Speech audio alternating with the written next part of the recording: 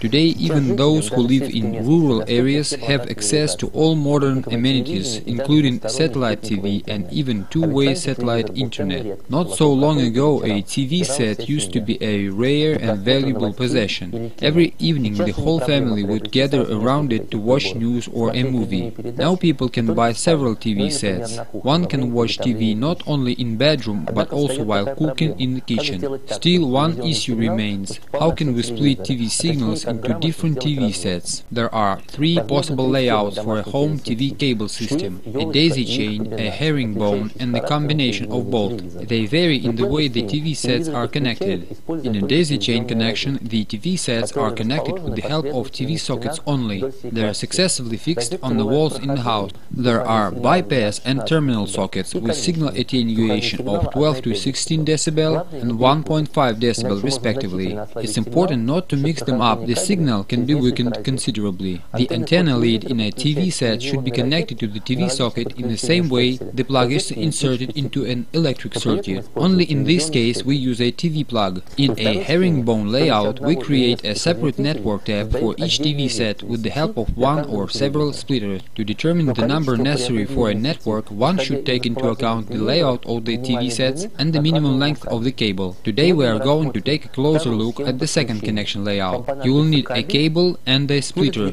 We should remember that there are two types of splitters, designed either for regular TV or for f-sockets. If the splitter you bought is designed for a regular TV socket, there should be no problems with assembling. If you use splitters designed for f-sockets, your TV cables will have to be improved a little.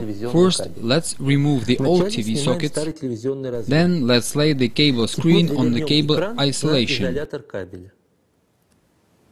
Now let's take the f-socket, put the cable inside it and clamp the enclosure with pliers. И обожмем корпус F-разъема при помощи пассатижей.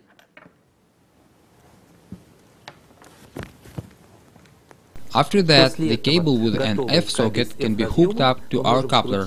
В наш переходник. To each output jack of the splitter, as many cable sections are connected as the number of TVs in the house. That's it. Your TV cable system is ready.